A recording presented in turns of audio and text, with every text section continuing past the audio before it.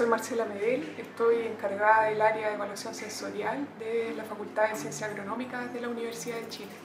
Les cuento primero eh, en qué consiste esto de la evaluación sensorial y es una ciencia que nos ayuda a apreciar y a cuantificar también los atributos eh, de los productos, de los alimentos en general, a través de los sentidos, a través de la visión, de la olfacción, del aspecto gustativo, para llegar finalmente a una calidad sensorial de un producto muy importante dentro del mercado.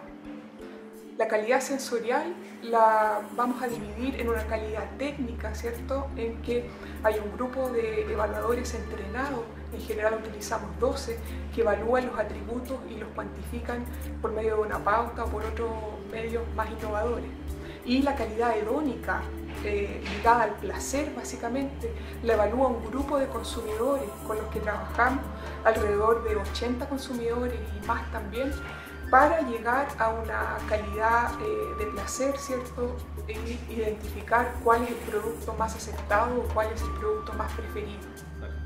Les voy a mostrar un ejemplo de un proyecto que estamos desarrollando en, eh, vino y son eh, cinco localidades de la zona entre San Javier y Cauquenes, del secano costero de la séptima región.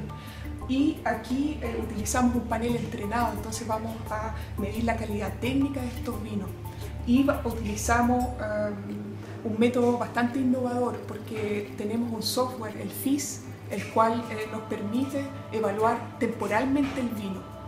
Por medio de este método eh, medimos la astringencia, la acidez, el, amargor, el dulzor de los vinos, la persistencia, atributos sensoriales muy importantes a la hora de hablar de calidad de un vino. En este proyecto describimos el vino sensorialmente por cada una de las localidades.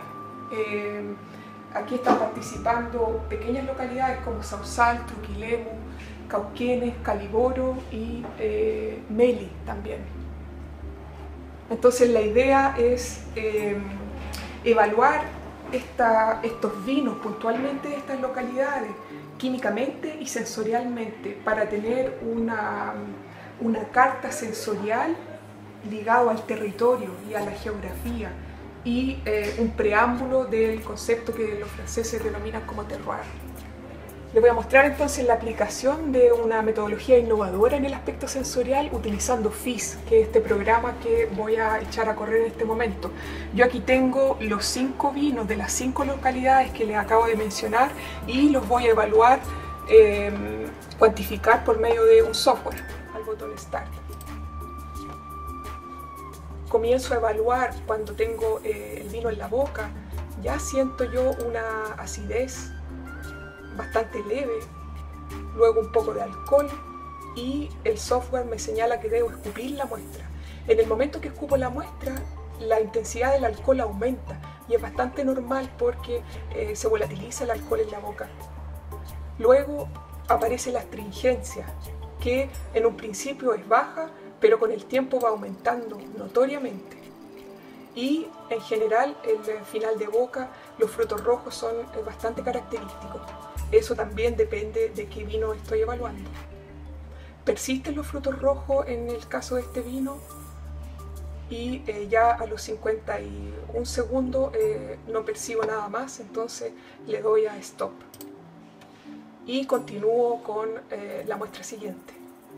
De esta forma yo voy a obtener perfiles temporales, curvas que me van a representar el vino temporalmente en el tiempo y me van a dar eh, la dominancia temporal de las sensaciones en el vino. Esto me va a permitir comparar los perfiles temporales entre una localidad y otra, es decir, yo voy a encontrar diferencias temporales entre la localidad de Truquilemu y la localidad de Sausal y la localidad de Caliboro, por ejemplo. Entonces tengo un método bastante innovador para poder cuantificar y verificar diferencias sensoriales entre los vinos de distintas localidades. Eh, bueno, espero que les haya gustado, que haya sido de su agrado. Nos vemos en una próxima cápsula.